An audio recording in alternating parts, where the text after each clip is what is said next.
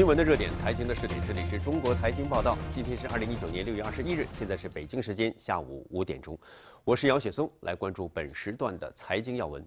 继 A 股纳入名胜指数之后，又有新的外资布局 A 股。今天 A 股将纳入全球知名的指数公司富时罗素公司的全球股票指数系列，有望为 A 股带来超过百亿美元的资金流入。今天 A 股收盘后，超过一千只 A 股股票会纳入包括新兴市场指数和主题行业指数在内的富时罗素全球股票指数系列。这其中包含 A 股中近三百只大盘股和超过四百只中盘股以及部分小盘股。富时罗素指数公司计划从二零一九年六月开始至二零二零年三月，分三步完成纳入流程。最终，A 股占到富时罗素新兴市场指数的比重将达到百分之五点五九。在富时罗素全球全盘指数占比为百分之零点六。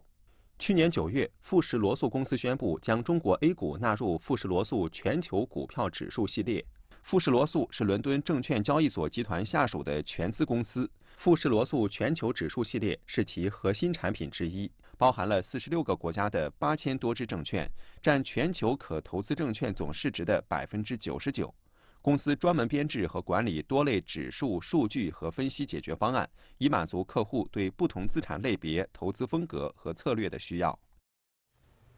今天下午三点钟，A 股纳入富时罗素全球股票指数启动仪式在深圳举行。我们央视频道的、央视财经频道的记者正在现场。那么，今天启动仪式上有哪些内容和亮点？富时罗素全球股票指数会选择投资哪些指数呢？选择的标准又会是什么呢？马上来连线记者张琴思。琴思你好，请你给我们介绍一下你了解到的最新情况。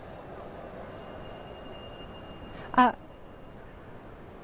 啊，雪松老师您好，我现在所在的位置是深深圳证券交易所。我们刚刚参加完 A 股纳入富时罗素全球指数启动的仪式。那么，至于哪些股票将被纳入指数，我们现在得到的情况是，富时罗素将基于北向中国互联互通机制买卖名单上的 A 股标的进行选择。目前看到的名单数量是一千零五只股票会纳入名单，但最终的名单还要在下周一，也就是六月二十四日开盘的时候，呃，才有最终的结果。当然，这个名单也不是一成不。变的，它会不断的进行调整。那比如说像停牌或者违反价格限制的股票将被剔除，比如像亨通光电、新疆天业等。然后，如果这些股票在六月份的审核后能够恢复正常的交易，将被纳入到九月的指数之中。如果没有恢复交易，将在九月的审核中被删除。此外，像大族激光和美的集团，由于他们没有通过境外投资者可投资余额比例筛选的条件，在第一批次中也没有被纳入到指数之中。如果之后符合筛选比例了，将在在九月份被纳入，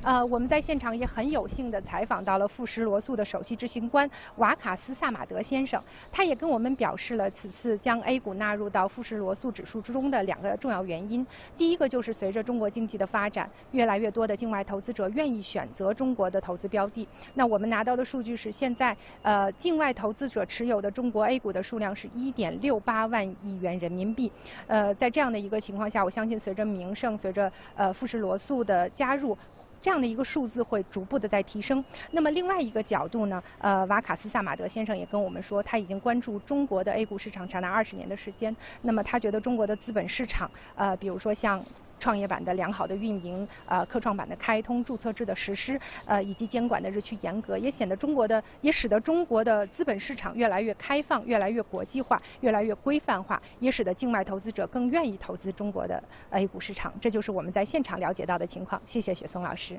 嗯，好的，感谢秦思前方带来的报道。我们来看最新的消息。中国驻伊朗大使馆今天下午发布公告，提醒在伊朗中国公民注意安全。本提醒有效期至二零一九年九月二十一日。近期地区紧张局势在不断的升级，中国驻伊朗大使馆提醒在伊公民和机构密切关注局势的发展，加强安全防范和应急准备。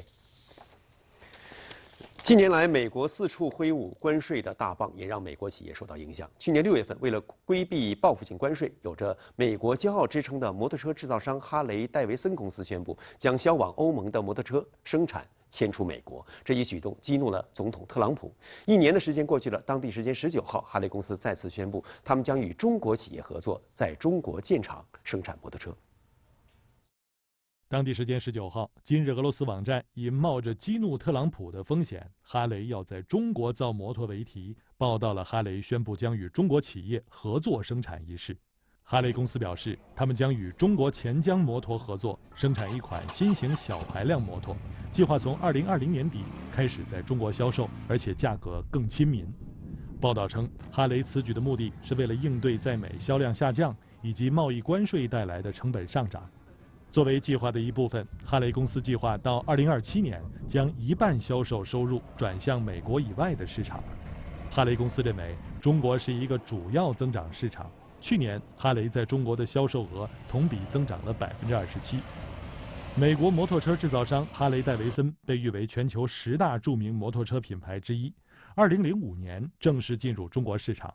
一直以来，哈雷摩托的产品是以进口的方式卖到中国，售价不菲，价格一般在十万到六十万人民币之间。美国两家著名的连锁百货公司杰西·潘尼公司和梅西百货公司近日也致信美国贸易代表办公室，反对对从中国进口的商品加征关税。这两家公司在信中同样指出，加征关税只会增加美国消费者的负担。杰西·潘尼公司和梅西百货公司在信中列举了数十项从中国进口的商品，这些商品包括女性服装、节日装饰品、婴儿用品等等。这两家公司表示，这些商品占据美国很大的市场份额，其中很多商品难以找到中国以外的替代供应商。因此，这两家公司强调，如果对这些商品加征关税，将会直接对美国企业和消费者造成损害，增加美国企业和消费者的负担，降低美国产业竞争力，损害美国经济与就业。据了解，美国贸易代表办公室从本月十七号开始，就美方拟对约三千亿美元中国输美商品加征关税举行为期七天的听证会。在听证会召开之前，美国已有五百二十家企业和一百四十一个贸易协会联名致信总统特朗普，敦促美国政府不要对从中国进口的商品加征关税，并回到谈判桌与中国达成解决方案。随着近年来中俄贸易往来的增长，中国产品在俄罗斯消费者心目当中形成了性价比好、科技含量高的良好印象，在俄罗斯市场拥有广泛的前景。近日，第四届中国消费品品牌展在俄罗斯莫斯科开幕，共有来自广东、浙江、上海、山东、江苏、福建、宁夏、安徽、湖北等地的三百三十家企业参展。俄罗斯总统商业和企业家权利保护代表季托夫介绍，在俄中两国工商界的共同努力下，双边经贸合作的质量和水平进一步提升。去年，中俄两国贸易额创历史新高。本届展会展品范围涵盖家居用品及家居饰品、家用电器及消费电子产品、厨房用品及陶瓷制品、园艺用品及户外用品、礼品及文具、服饰及配件和婴童用品七大领域。中国的产品在俄罗斯广大消费者的心目中的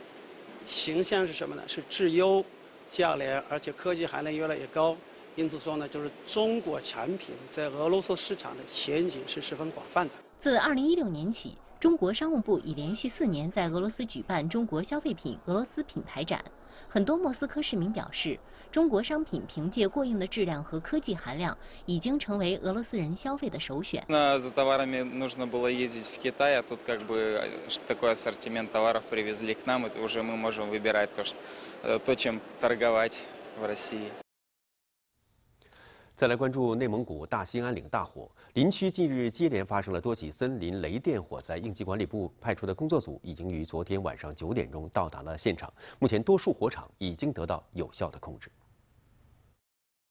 截至今天上午九点，除金河林业局秀山火场外，其余各处火场均已扑灭或有效控制。金河火场面积已扩展到六百多公顷，现场有四千人参与救火，出动直升飞机八架。火场山高坡陡，植被以偃松、白桦林为主，非常茂密，给扑救工作带来一定困难。虽然火势蔓延很快，但目前形势在可控范围内。据了解。进入六月份以来，内蒙古大兴安岭地区干雷暴活动异常频繁。三维闪电监测网探测到，大兴安岭及周边区域共发生雷电近三万次。仅六月十八号至十九号，就监测到雷电频闪三千四百五十多次。加之降水较常年偏少，致使林区雷电火多点集中爆发。